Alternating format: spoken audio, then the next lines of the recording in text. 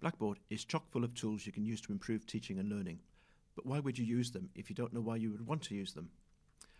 The most useful quick tip I can give you is to look at your course content, consider the best way to teach that content to your students, then match that to the most appropriate Blackboard tool. The Technology Pedagogy Content Knowledge, or TPACK, framework is something to consider when writing your module and putting your Blackboard space together. The framework is based on the interplay between three distinct forms of knowledge. Content knowledge teaches knowledge about the subject matter to be learned or taught.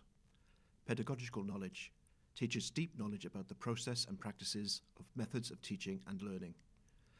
Technology knowledge knowledge about certain ways of thinking about and working with technology, tools, and resources. Rather than seeing these three kinds of knowledge in isolation, where they intersect creates three secondary and distinct knowledge areas.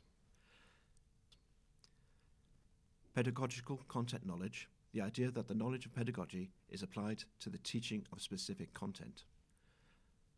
Technological content knowledge, an understanding of the manner in which technology and content influence and constrain one another. Technological pedagogical knowledge, an understanding of how teaching and learning can change when particular technologies are used in particular ways. Finally, where all three types of knowledge overlap, we get technological, pedagogical, content knowledge, underlying truly meaningful and deeply skilled teaching with technology. TPACK is different from knowledge of all three concepts individually. Try these suggestions for using Blackboard tools. To test research skills, set an activity. To impart information, embed a video. To test knowledge, set a quiz. To assess reflection and critical thinking, set up a journal.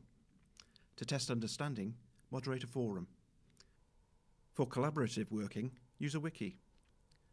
Whatever the technology you use, whatever the content, whatever the pedagogy you prefer, you should strive to have all three types of knowledge align with each other.